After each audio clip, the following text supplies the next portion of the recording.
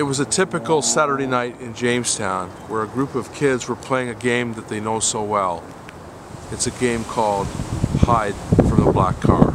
This is where the kids were playing right here and video that we've been able to obtain from witnesses show that and they're always looking for what they call the black car and it doesn't necessarily mean it's black it could be white or any color but what it means is a car that looks like it could contain a gunman because they've had some shootings here in Jamestown. In this case, at the very same time as the car came along, a gentleman walked, I believe, right down this alleyway here.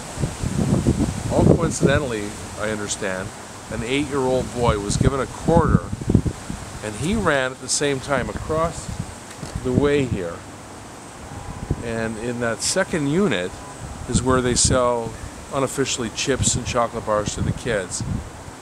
Along the way comes a SUV. A gunman gets out, goes around and starts shooting.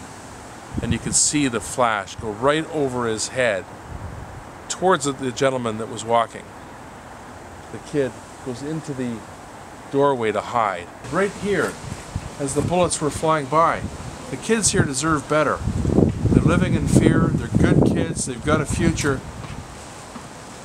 but if not for this doorway, who knows what would have happened. Well, it's just getting worse and now it's hitting too close to home, so I just want to get my kids out of here.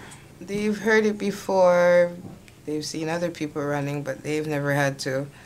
And now it was like almost, if he didn't run, he would have gotten shot.